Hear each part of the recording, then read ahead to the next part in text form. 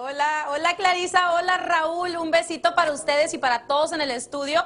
Pues así es, ya saben que aquí en Los Ángeles somos bien parranderos y la banda MS, la banda más exitosa del momento, estuvo aquí tres noches. Así que nos invitaron al concierto y aparte también entramos a los camerinos donde nos enteramos de muchos chismecitos. Vean nada más todo lo que nos contaron.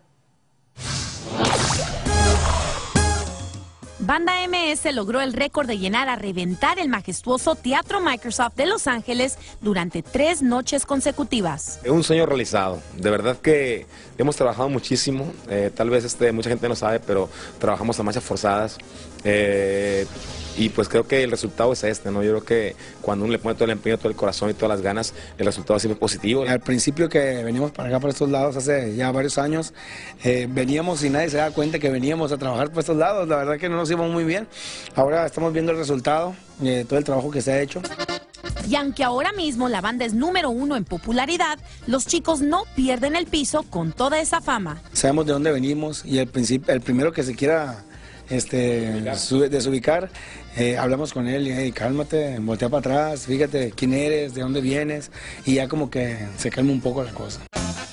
La humildad, la honestidad y el talento los mantiene unidos y saben muy bien que han tenido que pasar muchos sacrificios y momentos difíciles para llegar al lugar que hoy ocupan. En uno de los momentos más difíciles, mi papá, me acuerdo que hace unos meses apenas me pidió perdón porque eh, en un momento muy crítico de, hablando económicamente, mi papá, como todo papá, se preocupa por su hijo, se desesperó y me dijo, ¿sabes qué, hijo? Déjate de esto ya, ya está bueno, la música no te deja nada, vete, consigo echarme en un hotel, aunque sea ahí de garrotero, aunque sea desde, en la limpieza, pero ya déjate de eso. Entonces yo le decía, no, papá, aguante de poquito, mire, esto va a funcionar algún día y hay que echarle ganas. Y pues me dice, hijo, perdona, porque pues ahora gracias a eso, pues todos estamos bien. Por último, esos muchachones están más que agradecidos con nuestro show por el apoyo que siempre les hemos brindado a la música grupera y a ellos en particular. Fíjate que Raúl nos preguntó una vez, ustedes no hacen escándalo, no, no, no, se cuestan a nadie, no, no, no disparan a nadie. Te complacimos, Raúl, ahí está. Raúl, te mando doble sonrisa, la de aquí y la del cuello. Totalmente lleno los tres conciertos que tuvieron aquí en Los Ángeles. Y fíjate que, muy contentos todos. Alan cantó maravillosamente. Este, te mando muchos saludos, Raúl. También, como pueden ver, iba yo vestida igual que los de la banda, fue sin querer, queriendo.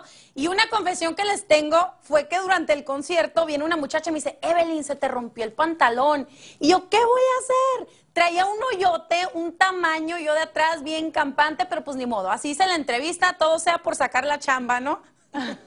Qué vergüenza. Lo que pasa Clarisa, ¿a ti se te rompió el pantalón también? A mí se me rompió un vestido en plena fiesta y andaba con oh mi carterita así cruzada y me la pegué ahí más nunca. A mí se me rompió el pantalón aquí en el medio del gordo de la flaca. Exacto, o sea que hasta, las, hasta los hombres pasan por eso. Ay, Carlitos, te lo dije, se quedaron con las ganas de chismes. De chismes, de jacuzzi, de entrevistas exclusivas y todo lo bueno que hacemos aquí. Bueno, para más notas flacas, chismes de los famosos Mi Gordo y Flaca Digital, suscríbase aquí en nuestro canal de YouTube. No, no, no, Jimena, espérate. Eh, para más chismes gordo y toda nuestra gozadera mejor, suscríbense aquí.